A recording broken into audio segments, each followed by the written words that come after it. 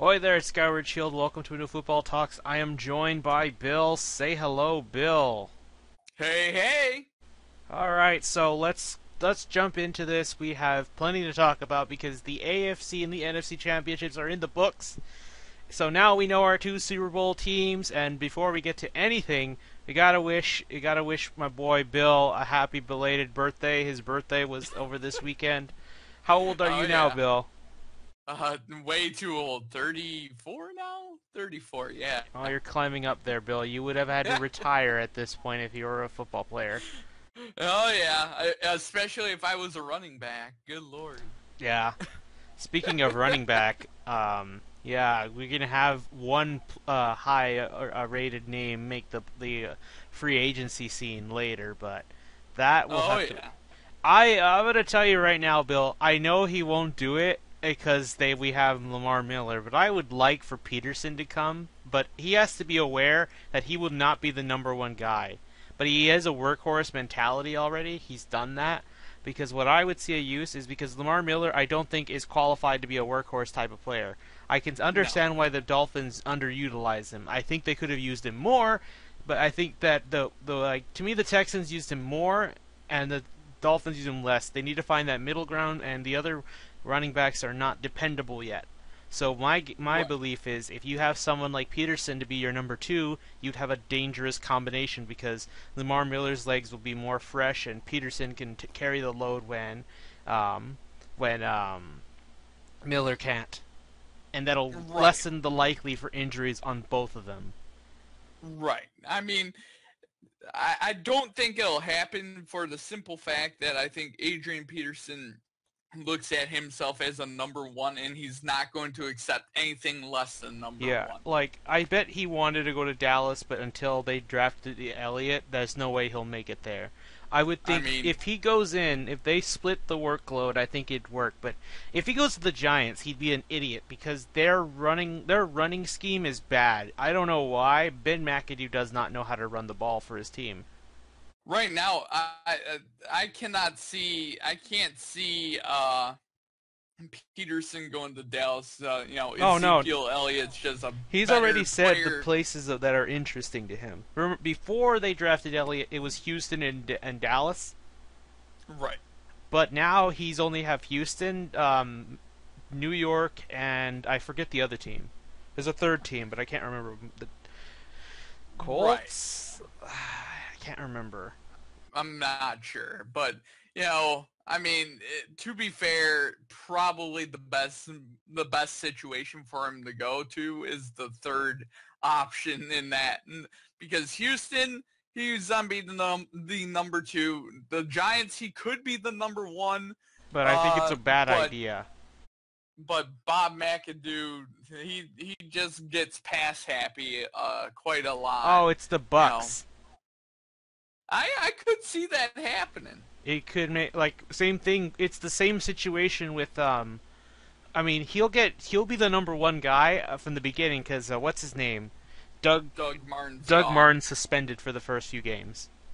Yep. So he will start. He'll basically be going through what um, how, what's that? Um, what's his name for the Pittsburgh? He used to play with Carolina. We I saw him this week. Uh, DeAngelo Williams. Yeah. He would be doing what DeAngelo DeAngelo Williams did at the beginning of this year, r- replace Le'Veon Bell. Right. Yeah.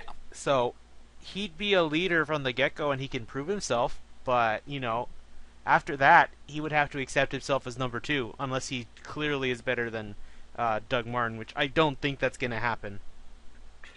right. I, I think if he wants to preserve himself, if he really wants to go for the 35, he needs to uh, play a bit more um, conservatively and be willing to to to rest, basically.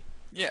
Yeah, he's a violent runner, and he uh, that violent running streak will get him injured. I mean, he's gotta, he's gotta. I think he needs to start conserving himself like he's in his mid mid thirties, like he almost is.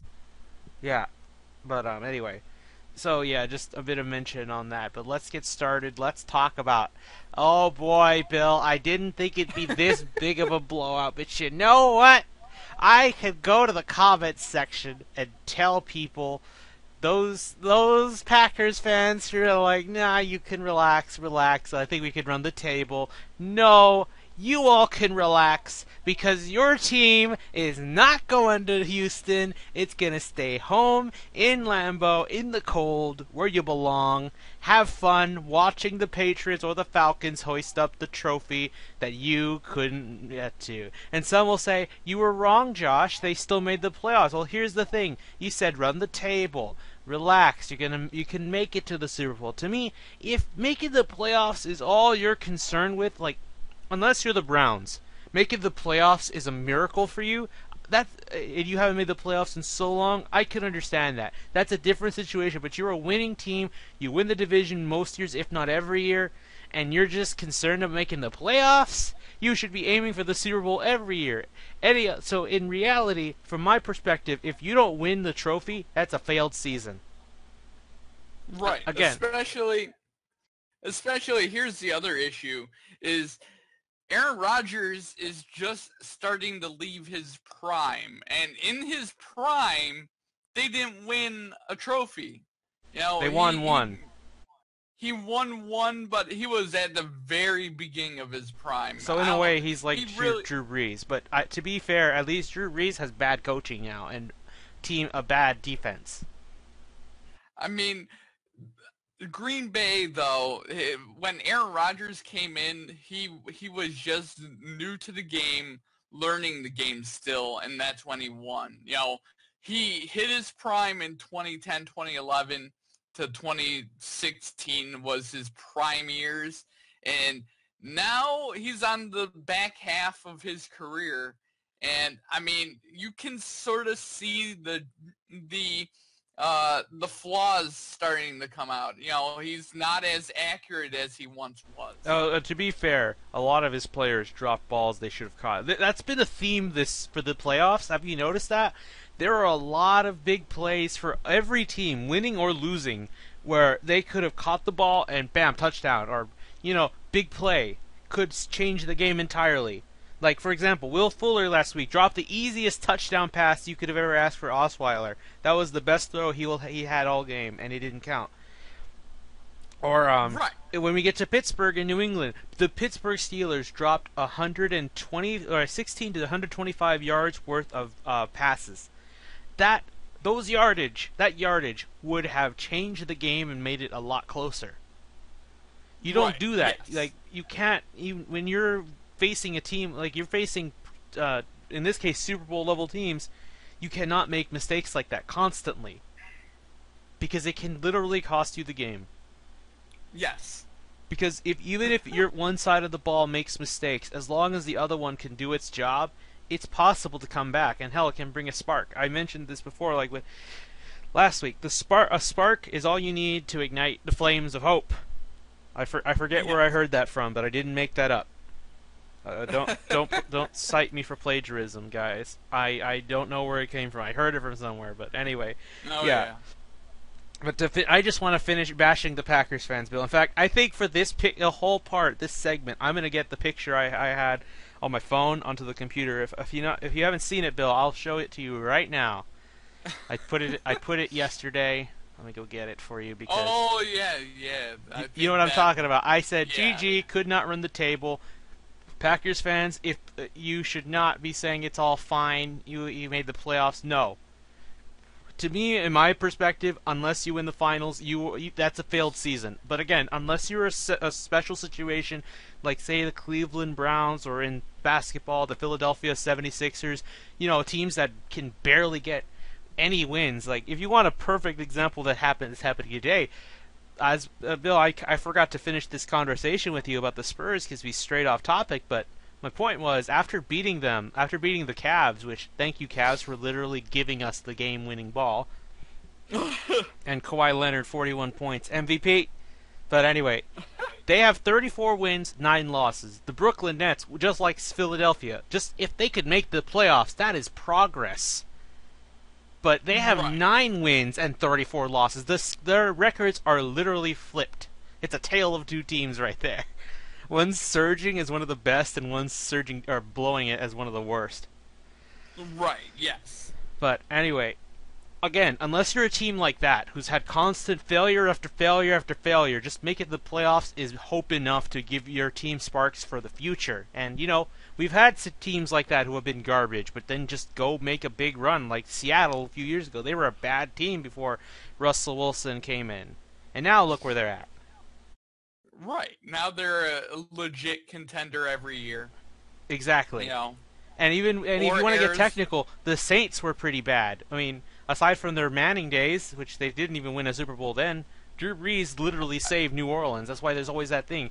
Drew Brees and the Saints saved New Orleans. Yeah, they did. But right. you know that's I mean, that, that's that's part of their narrative. The the Arizona Cardinals are another example of that. Oh yeah. The Arizona Cardinals were one of the laughing stock franchises for 50 years and now they're a legit nasty team every year. And they have one of the best coaches that's not named Bill Belichick. Exactly. But um, but seriously, you should uh, again to me. Everyone else may think differently, but if you don't win the finals trophy or your Super Bowl or whatever you call a trophy, whatever trophy's at the end of this of the of the road, if you don't win that, it's not a successful season. Right. So basically, only one out of 32 teams can say they had a successful season. Right. And we're going to yes. see who had the truly successful season. In fact, I would say Atlanta's a success because the past two, three years, they were about as bad as the Texans were. But then getting Dan Quinn from the Seahawks, who was already known right. championship, winning a championship, then you have Kyle Shanahan, whose offense is so good that the next year everybody and their mother wants him on their roster. Right. I mean, it it's the Atlanta Falcons are a blueprint for the rest of the league to where they should be heading towards. Yeah. Oh, okay, now Bill, now I see for I see um all of the uh the AFC Pro Bowl stuff, you know, the people who got replaced. I I only saw the NFC. I was like, why is this so little people? right. Yeah. But anyway, just just to just to say, I didn't even finish the whole narrative about the Falcons. This was the last game in the Georgia Dome, and you could not have asked for a. Uh, I wouldn't. I guess you could say it wasn't the perfect game because it wasn't close, but in terms of you just wanted a lopsided win to really go out with a bang, this was the way to do it. Right. I mean, you know, an NFC title, you beat you beat a team that uh, calls themselves Title Town.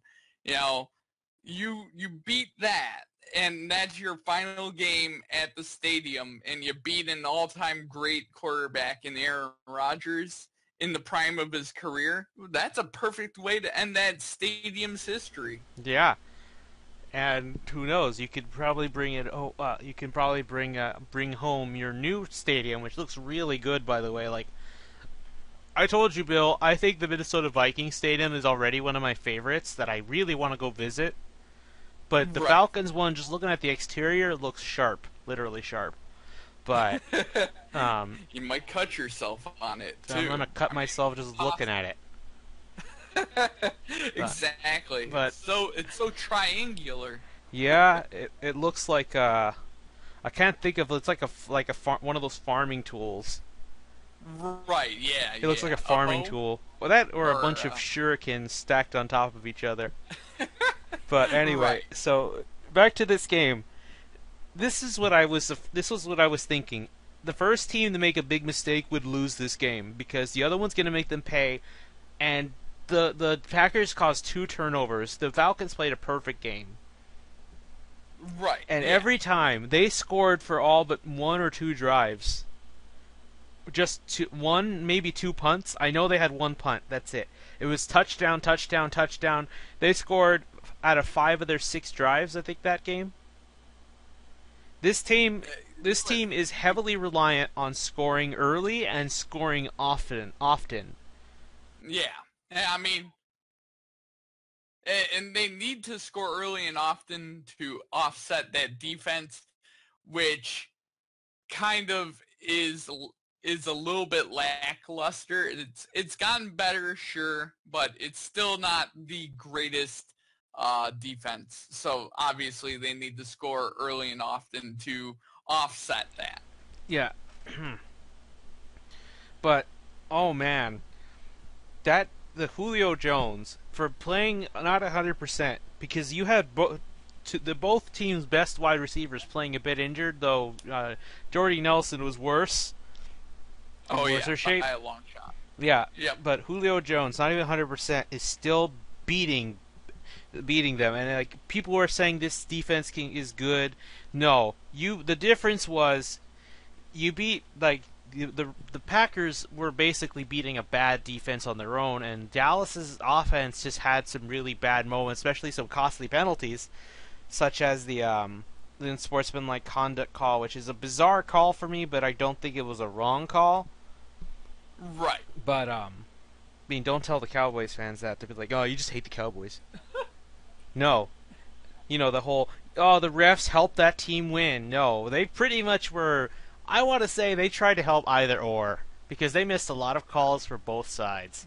So yeah, I mean that's that's just bad refing yeah. at that point. That's just not being biased. That's just them being bad at their job. Yeah, but I mean, to be fair, most NFL referees are inept pieces of garbage, anyways. Minus a few like Ed Hochuli and a few others. Yeah, but you know, they're overall the the quality of NFL referees has went down in the last five years. Oh yeah, but anyway, so going back to this game, um, 44 to 21 was the final score. I was go- I'm I think I predicted 44-31. I forget my prediction, but I w- no no I went over 50. I went 51 to 31. I was close, yeah, touchdown like off, but you know what? It's fine. I'm, it's it's all good because to be honest, this this showed on one hand when the Packers win, Rodgers typically does it himself. Like I don't agree I don't always agree with what people say about Rodgers, but I think I can agree with them on this. When they win a hard game, it's usually because he had to make that move himself. It's not oh the defense won it for him or the running back just makes a big play when it matters. No, chances are when they win, that deciding play is always because of him, which typically games are decided by their quarterbacks. But you know, other great teams can just decide it by getting a like you know getting a key interception. For example, in this in two two Super Bowls ago, the the the Patriots Seahawks one, it wasn't a quarterback that decided it, although technically you could say that, but it was a cornerback. It was Malcolm Butler, and now look at him. He's viewed as one of the best cornerbacks in the game. Right. I mean, in I mean, you know, with with Aaron Rodgers, if if you really looked at that game when it was so far behind, you know, he was single-handedly willing that team down the field. He was running the football. He was gaining 15 yards on the ground with his feet. And he, he was sh- and they were shut out for the first that. half. Yeah. Yeah. They were inept exactly. in the first half, and the second half he tried to rally, but here's the thing the defense really was what killed them in this game because look, the Packers could score a touchdown every drive. Like they could have scored every touch a touchdown every drive in that game. But guess what? Every time the Falcons scored a touchdown to match. You see what I mean? It does like your touchdown doesn't mean anything if the defense can't get a stop. You just need one more stop. And if they can't get the stop, it doesn't matter what you did then. It means you have to do it again and then again if they score. You know what I mean? You already had to do it, but then you had to do it quicker, and it just it wears on the offense as much as the defense is already choking for them. The defense right, for the Packers yeah. was non-existent. it's this is proof that they have so much problems on defense. We've been saying it for years. Some people say they're sneaky good. Remember in the beginning of the season, it's like, oh, they have the best run defense, but then Ezekiel Elliott said otherwise. Then they said the Ravens had a uh, unbeatable, unbeatable run defense, and then the, and Elliott did it to them. You see what I mean? Like they, these stats for the defenses this year, like people were saying the Texans had the best offense or defense, which from what I'm watching it, I can tell you no. They make they can make some pretty big mistakes at times. They're a tight defense. They're a tight defense, but when you expose them, you expose them big. Right. I mean, I'll I'll put it this way. Sometimes the over celebrated uh, uh, defenses are the ones that have a great offense. Yeah, because they're them. masking. Same with Dallas. Everyone said Dallas was good, and I've been telling you guys, if they were going to lose for every any reason, it would be the cornerbacks, and that's why they lost because their corners were holding on to dear life, and I'm not even exaggerating. They were holding on to the to the Packers players. They were holding on to Davante Adams and Randall Cobb because they couldn't keep And up and spe- handle them. What? Yeah, exactly. But speaking of people hanging on for dear life, they were hanging on for dear life against Julio Jones. Julio Jones was legitimately running by people in that defense. I think that if the Falcons have any chance to beat the Patriots, it has to be him. And I don't think that it's going to be that easy. I know Julio is still going to get catches. He's I think that's inevitable. But it's he is not going to make it easy for them. And then he, to top that off, they're getting 2 weeks rest. So he's very likely going to be at 100%. This whole team is going to be Oh, at yeah. 100%. So that's what makes this Super Bowl look very promising. Oh yeah, definitely. So, but um, aside from that, though, the defense is playing better. I think Dan Quinn's defense is coming into shape. In fact, I'll say it now: if the Falcons don't win it this year, I think they could do it next year. But although the only problem is Shanahan's uh, absence, I think that might make it a, make a big problem. I think if what I'm thinking is if Kyle Shanahan and this and this Falcons team lose, I think he's gonna stay for one more year. And at that point, Right. he's going to get his stock up because, to be honest, all the spots that are left, they're not good teams. But say you could maybe go for another team if another team that has a promising group of players and they just have another bad season, a coach gets fired. I'm not naming anyone specific here. I can't think of any. You could go to that one. Maybe they already have a, qual- a qualified one, a qualified place to go to. You know what I mean? I, if I were him, I don't care about that that 49ers job. I don't care how much money they give me. I'm staying away from that. Exactly. That's what I think. If they lose, he's gonna he's gonna stay. But if he win, if they win, he's gonna go because he already got his ring. He got a ring, so now he's gonna try and do it on his own. So like you know, Right. so Exactly.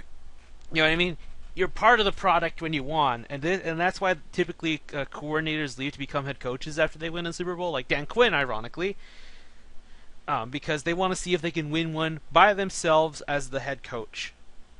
Right. I mean, I think it's kind of an Well- ego thing, but it's not the well, worst thing. it's. I mean, every if, you're a, if you're a coordinator, typically you have you have aspirations to be a head coach somewhere. You know, you're never you never want to be just an, a defensive coordinator or an offensive coordinator. There's exceptions to that rule, of course, like Dick LeBeau or you know uh, what's his face, Tom Moore people like that, those are coordinators. You know, Yeah. they they love Rex being Ryan. coordinators.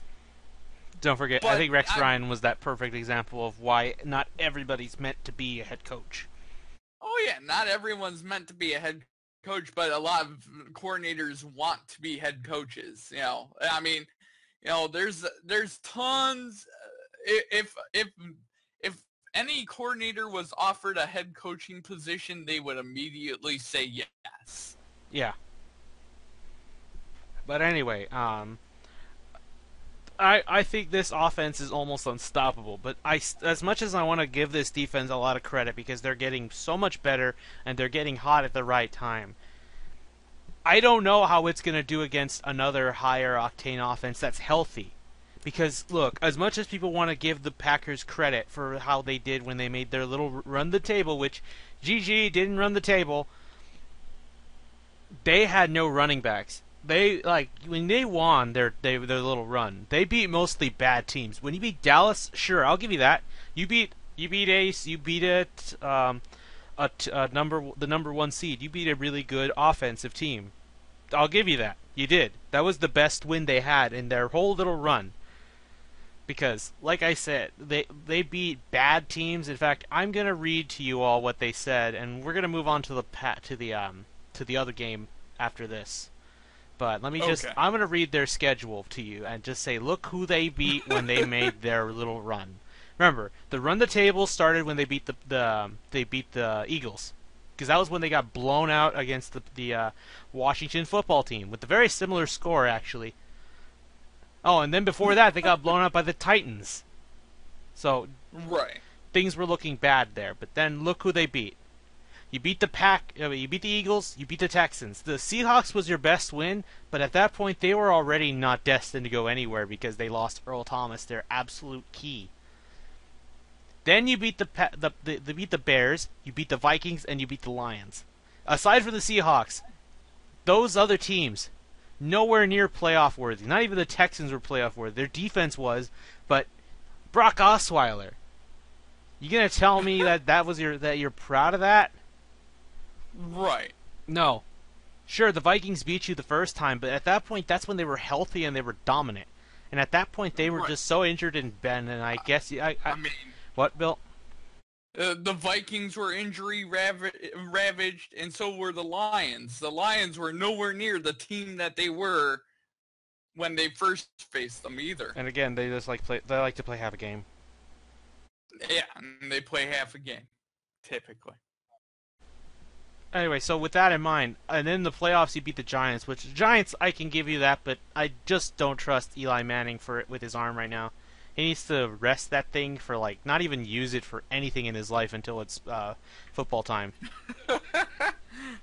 I feel Right. it feels like it looks like a zombie arm that's decaying rapidly, but the other arm's just fine. So at this rate, he'll be throwing with his left arm. Oh, jeez. But anyway, yeah. So you could give your little credit for your your uh, your your streak, but you know the only real team that you beat that I could say with confidence that was a really good win for you was the Cowboys. That's it. Right. I can't Yeah. say for Seattle exactly. Maybe if you beat them at their place, I could give it to you, but at, at home, yeah. But anyway, so the Packers did not make the run. They didn't run the table. GG. Have, I hope you had fun, Packers fans. But don't be like, oh, woe is us. We are suffering. We're a pain franchise. No. But No, get over no, yourself. that. That's not bad at all. this is showing you that you're actually just like the Saints are, wasting your star quarterback's talents because you ha- will not you will not uh, f- uh, supervise their defense, which is the biggest issue. It is the Achilles heel. I think this if this isn't a wake up call, Mike McCarthy absolutely should get fired. I don't think they will mean- now because they made it to the title game, but I would fire him. I would fire him already, but I know that the, the team feels like they could win with him. So I wouldn't do need it. to fire the. Yeah. They need to fire the defensive coordinator, but I'm I'm perfectly fine with them. Yeah, the I'm I, I'm on the same boat. Like with the, I'm fine. Like with the Colts, It's like hey, you can keep Chuck Pagano as long as you want. I don't care. Yeah, as long if they keep playing like this, I don't care. But anyway, Let's exactly. let's move on to the other one, the AFC title game in the Throne of Ease in Boston. People were rallying here because you had people like David Ortiz for um, uh, you had him there. You uh, pretty much you had uh, like half of the Boston Red Sox there to watch because this title game, you could say, oh, it's just a title game with the with the uh, with the uh, Patriots like any other year. You had him there. You had Paul Pierce watching the game. You had all these big uh, Boston sports stars all gathering to watch this title game because it meant a lot more to the Patriots than any other year. Even almost as much, I would argue, as the 16 0 run. You know why, Bill? Why? Everyone's favorite commissioner was too much of a pussy to show up. Yep. He- I mean, okay, he did not want to go. He chose to go to the Atlanta game, which I, I mean that one was a blowout too. But he's been afraid. We've mentioned it before. He's been afraid of of Foxborough for so long. And here's the best part: you can't avoid the Super Bowl. You have to be there because you have to present the trophy. right. I mean, and and then there's the there's the night before when they hold that joint press conference with both uh coaches, you know, that joint press conference that they do. Can you imagine with uh because Goodell is always in that building as well with those two. Uh, can you imagine Belichick being in there? Yeah, That will. I mean, I think it'll be fun. I real. This is why I really want the the uh, the the Patriots to win this one, because this one they won't say it. I don't think they'll say anything until after they win, because I don't think they want to jinx it, and they just don't want to show that bad character yet. That's what I think. Oh, I just think they don't want to jinx anything, which I think is They- fair. They obviously want to win one and stick in Roger Goodell's Yeah, but face, they're not and they say wanna win one for. Oh yeah, they want to win one for the city, so that way Roger Goodell is forced to come to New England, Exactly. get booed like he should be. He needs to take that. He needs to take the heat. He he made this choice to suspend Brady when there was nothing decisive about Deflategate, which I don't worry, I'm not going to spend more than two minutes on this matter. And whether he- I um, I don't believe he's right because you couldn't find anything truly decisive. Right. I mean, I mean, the issue is, is he, Roger Goodell has not handled that like a man. He's handled it very poorly. He should have just went to New England, took the booing, and moved on with life. But nope, he has to run and hide like a coward. And now, and now it's a giant story. Up, Roger Goodell and the New At this England rate, Patriots. at this rate, he'll he will not go to the Super Bowl to oversee the destruction of the Georgia Dome. He'd rather go watch that. But I mean, you never know. But here's the thing. This this like the longer he waits like the longer he waits, the more it's gonna um, how I put it? The longer he waits, the worse it's gonna get for him. So if he went earlier in the year, the boos would never be as bad as they would if he had win the Super Bowl. Because that that that game is gonna be loud. I think it's gonna be louder than all the other Super Bowl wins they've had. Because of just that one reason, Goodell because you tried you tried to make sure Tom Brady could make it to the Super Bowl, but not only his him winning and being one of the best quarterbacks in the game, but even his backup was playing great. Right. And that's what I find Oh. surprising, but anyway, let's actually move on to the game because oh boy. This game for a time it felt like there were many opportunities as I mentioned earlier with the Steelers with their missed opportunities, no pun intended. There were a lot of opportunities to come back and you had over a hundred yards of drop passes. Should you have made those, this game might be a little different. It would be a little bit closer. The defense was Right. gashed. The because Bill, I I mean, I, I told you, but you saw it too. I think you saw the flea flicker. That is the play of the game for me, Bill. That was. oh yeah. I mean, there there were actually a couple other really good uh, moments from this game. Like this was a game. If you're a Patriots fans, it, it was a very memorable one Oh yeah. because I there mean, what no, no, go ahead. Because you had that the flea flicker looks like a run to Dion. I think it was Dion Lewis or White, but then just pass gives it back to Brady, throws it to Hogan. Who Chris Hogan, he dropped a couple balls too. But you know what? Aside from those mistakes, really good game. I'm going to be honest. I won't be surprised if Danny Amendola gets cut because I don't think Edelman's going anywhere. My my fears of Edelman have been quelled because he is not going anywhere now. No, no. But I mean, Amendola, I could see going.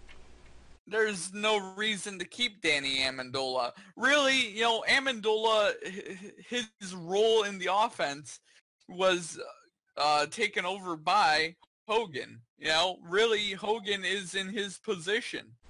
Yeah, he's taking that position, and you know what? He's earned his keep. I mean, he was a Bills reject. Then he stuck it to the Bills when they went to they went to uh, Orchard Park, and then now he has become one of their best receivers aside from Edelman. Like, and then Martellus Bennett with Gronk gone. This is Martell. This could be Martellus Bennett's big game because this is his Yeah, I first mean- Super Bowl appearance, and he's excited for it.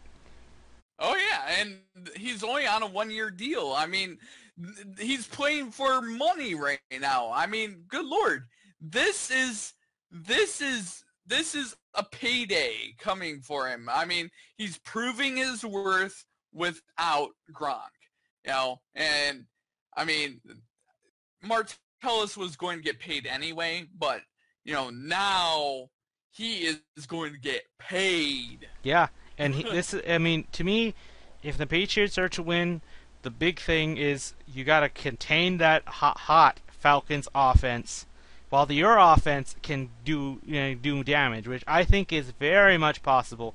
The pass rush they pass rush they played against um, with um, the Packers was nothing. It was non-existent. Right. I mean, and the the proof is in the pudding with uh, the New England Pittsburgh game because Ben Roethlisberger was under duress the entire. I wouldn't game. say just him. I felt like even though DeAngelo Williams, Le'Veon Bell, Le'Veon Bell didn't even play more than a quarter of this game because he had a groin injury. Right. But as great as he is, he is injury prone, especially in the playoffs, which sucks. But I don't even think if Bell was there, this game would have been much different. It might have been closer, but to me, what really cost them was those missed catches, and there were some really good catches that Ben threw. It's like if you just you had to catch them. There were a lot of there were a lot of you had to catch those in this playoffs uh, in these playoffs this year. So much right. I could make a compilation of it, and it would last more than ten minutes. I think. And all all these games, it's bad. It's really bad, Bill.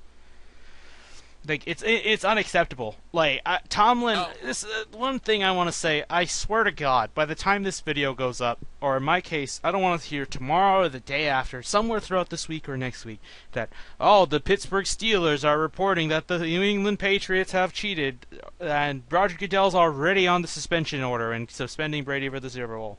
I don't want to hear any of that shit because, to be honest, I think they just got outplayed and the Steelers, Tomlin even admitted himself that he did not like he they got outmanned in everything, because the Pittsburgh Steelers play zone defense, and that is the easiest defense for Brady to go through. He he surgically operated on them, so precise. And I'm just watching Bill. We are watching a legend still at work, and I am trying to enjoy every minute of it while I still have it. Exactly, and you know, the other thing that really, I mean, Tom Brady doesn't need any more motivation, but what the Pittsburgh Steelers said about the Patriots in the locker room. Thanks to, uh, thanks, um, uh, thanks to Antonio Brown. Thank you. Sorry. Thank you, Bill. Thank you, Antonio Brown. I mean, not that they needed any extra motivation to be ready for this game, but they came out laser laser focused to put a hurting on this team. You know, and they put a hurting on this team. Yeah, and here's the thing, they didn't even rely on the run game, which speaking of the run, I know they played poorly in the run, but that's Pittsburgh. They like to they don't like to let teams run on them so easily. And especially Pitt, uh, the Patriots. They play they try to play them like it's like they're playing Baltimore. They don't succeed on it very often, but they try to at least play them like they are the Baltimore Ravens. Right. But they it, when LeGarrette Blunt was running to it like it was like like first and goal or it was you know it was like around the twenty. He runs, gets over ten yards, and then is trying to be pulled back by like three or four Steelers players. No, keeps going. Two more players get jump in the pile. He still keeps going honestly, if the whistles didn't stop him, because he was still making progress, I think he would have carried that entire team into the end zone. Yeah, I, I, I would agree. I don't know if you saw that play, Bill, but that was another. Oh, that's yeah. another play of the game nominee for me. I mean, I still got to go with the flea flicker because that one's just that's the type of play that can get people off their seats. It got me off my seat, and I was fucking crazy at that moment because that. I mean, you don't see the trick plays that often. I only see them in the playoffs from the Patriots to be fair, right after uh, after that play happened, all the momentum was with them. So I mean, it it really demoralized the Pittsburgh Steelers, and I mean that's what that sort of play is designed to do. They they were there for the run, and they gashed them with a fake run, and it it just annihilated. What's sad is that uh, some of the secondary players actually expected it, and they were right. But by that point, because they didn't have help from their safeties, because I think one of the secondary players uh, also saw the run coming, so he ran in. But no, Yeah, that's he- he exactly bit what he it. needed. Just one of them needed to fall for it, and he they did. Oh yeah. I mean, it was a perfect call at the perfect time in the perfect situation. And that's what New England does best. Oh yeah. Like I don't think especially Bill, we- we're not making any picks for this week by the way. But next week is when we have the final pick of the year for the Super Bowl.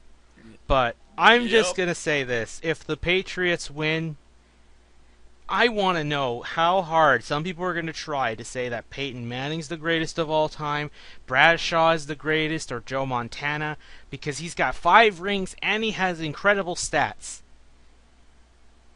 Uh, can you say? I mean, I think he's already proven to be the greatest. Because how many championship games, how many title games has he been in now, Bill? It's still a streak. for the uh for the AFC title games, he's been in six straight. Anyway, Bill, I will be right back. All right, Bill, I'm back. Um, let's continue. We have, um, I was going to say, and how many Super Bowls does this make now? Seventh appearance? Seventh or eighth? This is this is number seven. Brady is four and two in the Super Bowl. This is number seven. I. This is why I really want him to go five and two. But Yep. I this I feel like this one is so special for both teams. I mean, if the Falcons win, I think that the city in a way did deserve it since they were a laughing stock for a couple years. But I Oh, really think this this Super Bowl should absolutely go to the Patriots. It feels mean- like with all the shit that that you had so many people get in their way. And if, and and Brady had to be had to actually be suspended for just to see it was like a four game handicap to see if the if another team could get the first ranked seed like the Broncos or the Chiefs take it away from them so they could host them and then beat them. That I think that's what Goodell was hoping for, but no, it didn't happen. It didn't happen, and he got beat. and that's why I want that. I just want him to hoist that trophy, and then after that, with Goodell in his face, he can say, "This one's for you." That's all he needs to say. He doesn't have to sound anything. He doesn't say "no fuck you." He doesn't say anything that's like that. Just say, show it to him. It's like, "Hey, I won this for you," or because of you. you know, just so it's enough of a hint to say, "Yeah, I'm still not. I still remember what you did to me. I still remember you tried so hard to get me suspended, and that's why I got this for you." I think what he's going to say is probably nothing towards Goodell and just lift it up and lift it up right in front of Goodell's face and he'll know. He'll know. I mean, to be fair, it, it that's going to be one of the big storylines this entire It already is. two weeks. It already is. Like, we're not going to hear the end of this revenge against Goodell, and I'm fine with that. I think it's rightfully so. That's why they made this big run. And, I mean, if Gronk were here in this roster and playing, I would have said that the Patriots have absolutely no reason to lose. I can't guarantee it to them. I think this is going to be like, I give it like a 60% chance the Patriots can win this, and a 40% chance the I Falcons mean- can. I'm I'm right now hovering at 50-50, but you know that's that's what you know a week and a half of thought will Yeah. give me. I think well, the Patriots had to have- when as soon as Dallas was out, I think they immediately started preparing for the Falcons because I think they also thought that the Falcons are the more likely of the the two to make it. Maybe. Well, to be fair, uh, uh, with teams like New England, they take it one game at a time. The old, the age-old adage for sports: we take it a game at a time. Oh, they they broke that rule. Remember uh, with the Steelers and the Bengals, or the Steelers and the uh, Dolphins games. Like they knew the Dolphins weren't gonna win. They knew.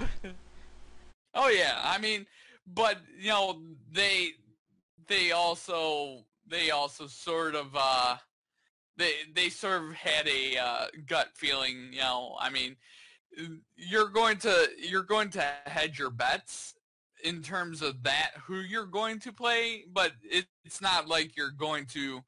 Uh, they probably had a they probably had a uh, contingency plan just in case the Miami Dolphins won.